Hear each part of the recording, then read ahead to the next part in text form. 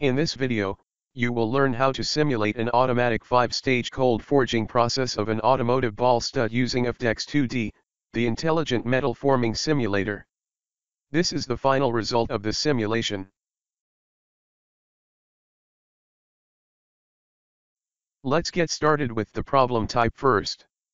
Since the geometries of the workpiece and the dies are axisymmetric, we will carry out a 2D axisymmetric simulation. The temperature change is neglected in the simulation, that is, this will be an isothermal finite element analysis. The information about the material is given on the left side. The dimensions of the workpiece are as shown in the figure on the left. The material of the workpiece is a steel grade and its initial temperature is equal to that of room temperature.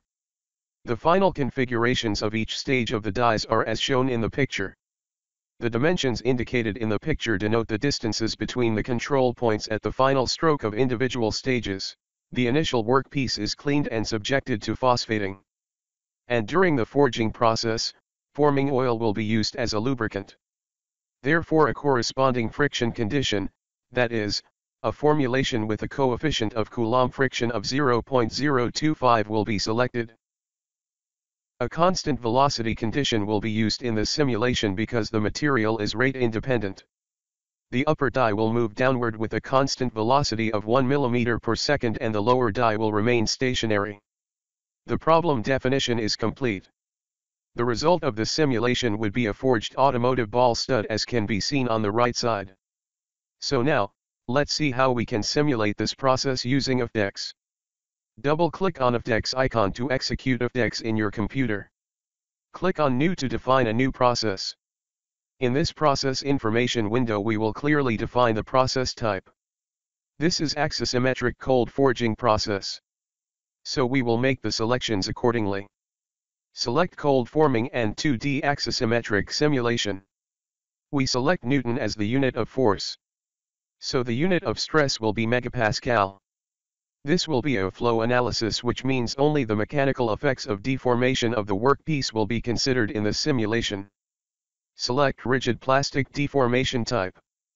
This means the elastic component of deformation is neglected in the simulation as it is insignificant. Since this process does not have any flash, select regular type under flash. Click OK. This is the main window of AFDEX. We will use the toolbar to set up the simulation step by step.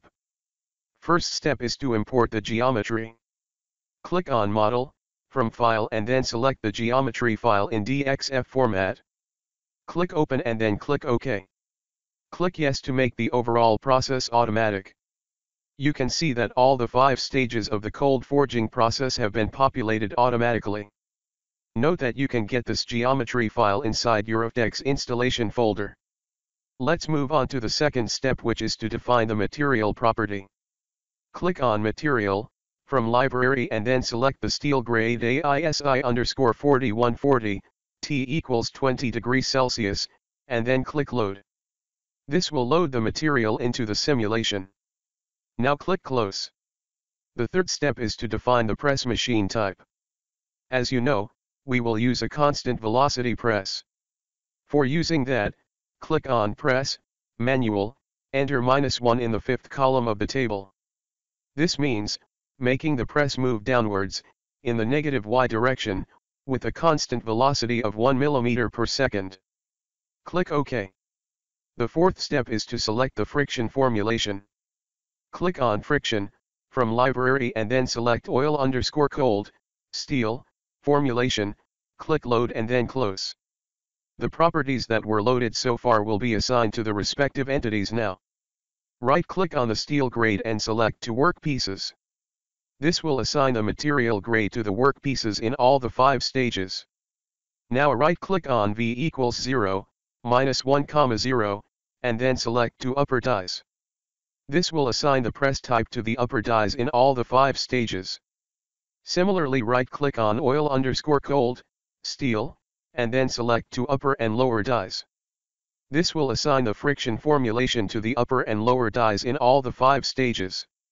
Now we have completed the definition and assignment of properties to the dies and the workpiece. The next step is to position the dies properly. For this, we will use the Positioner tool of Afdex.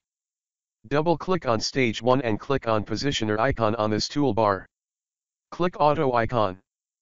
This will enable automatic positioning of the dies for all the three stages. In the prompt window that opens, click No to not initialize the position for all stages. Click OK. The next step is to define the stroke values for every stage. For stage 1 stroke definition, double-click on Forming 1. This will open the forming control window of stage 1. Enter a value of 97.4 below the distance drop-down menu and click OK. Now follow the same procedure to define the stroke values for all the remaining stages. For stage 2 stroke definition, double-click on Forming 2. This will open the forming control window of stage 2. Enter a value of 89.3 below the distance drop-down menu and click OK. For stage 3 stroke definition, double-click on Forming 3. This will open the forming control window of stage 3. Enter a value of 72.0 below the distance drop-down menu and click OK. For stage 4 stroke definition, double-click on Forming 4. This will open the forming control window of stage 4.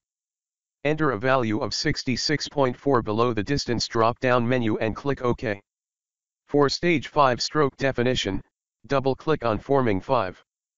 This will open the forming control window of stage 5. Enter a value of 80.5 below the distance drop-down menu and click OK.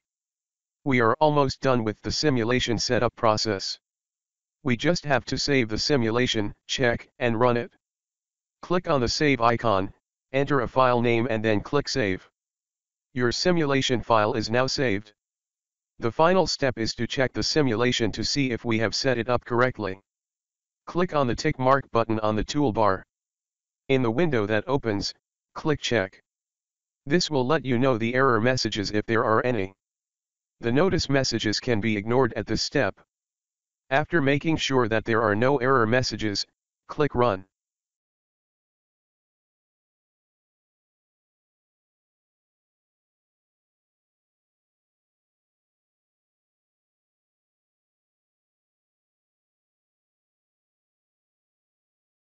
This area shows stage-wise and overall progress of the simulation. On the right side are the different state variables that can be visualized based on the simulation. You can explore more on this section to investigate the state variables of your interest. The media tools here allow you to visualize the deformation behavior of the process.